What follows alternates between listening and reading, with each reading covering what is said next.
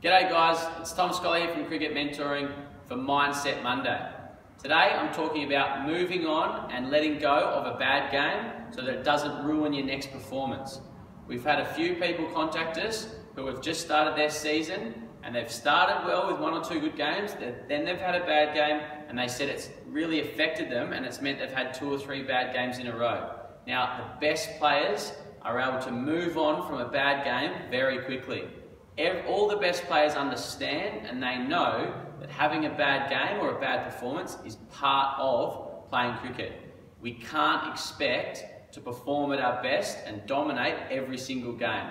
So part of um, this lesson is learning to accept you're not going to perform at your best all the time. If you have a bad game, that's okay. You just want to learn from your mistakes and move forward. Simon spoke in a video last week about different having two different types of mistakes and learning from your mistakes. So as long as you're learning from it, it can actually be a good thing. Learn from what you didn't do well, then it's all about forgetting about it, moving on mentally and emotionally, so that when you arrive at the next game, you're not holding on to those thoughts and feelings of the previous poor performance. You've got to try and arrive at the next game upbeat, feeling good about yourself, and really looking forward to that next game and the next challenge, not going over and over in your mind what had happened in the previous game.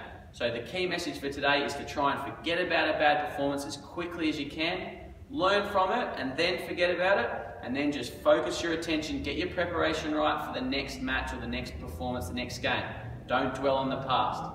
Hope that helps, guys. If you do have any questions, please don't um, feel afraid to send them in. Contact us on, uh, on Facebook or on YouTube or on Instagram. Cheers.